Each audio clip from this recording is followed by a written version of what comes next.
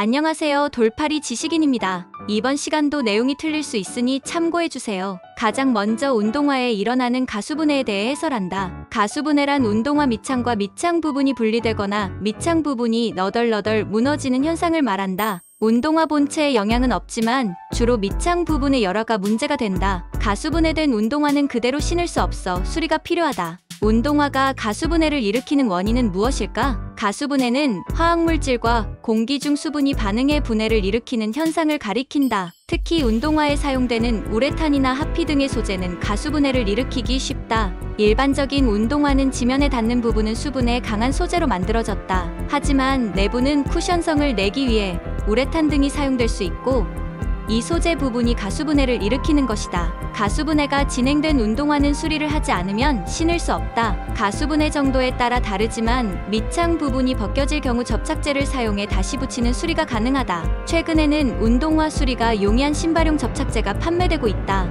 우선 수리하는 부분에 묻어있는 얼룩을 꼼꼼히 제거한다. 다음으로 접착하고 싶은 면의 한쪽에 접착제를 바르고 붙이면 틈이 생기지 않도록 무게 등을 두어 단단히 말리자 하루 정도 방치했다가 완전히 마르면 수리 완료다. 접착하는 도구는 신발용이 아니어도 되기 때문에 쉽고 저렴하게 수리하고 싶다면 시중 본드나 접착제를 사용하는 것도 좋다. 특히 순간 접착제는 빨리 마르고 말리는 동안 접착면이 어긋날 염려가 적다. 그러나 내구성으로 따지면 신발용 접착제나 본드의 뒤떨어짐으로 주의하자.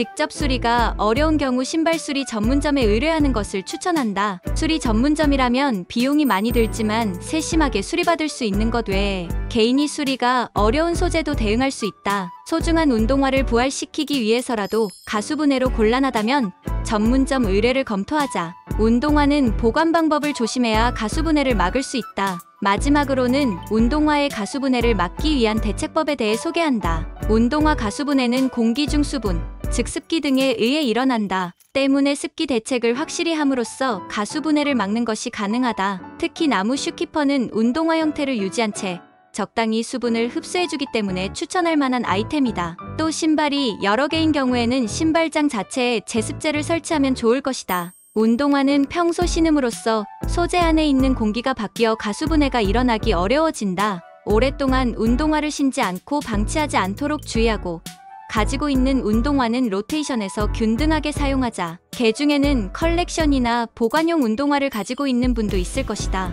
이 경우 로테이션을 짜서 실제로 사용하기는 어렵다. 신지 않는 운동화는 진공팩을 사용하거나 실리카겔 건조제를 넣어 습기를 피하는 보관이 가능하도록 하자. 끝.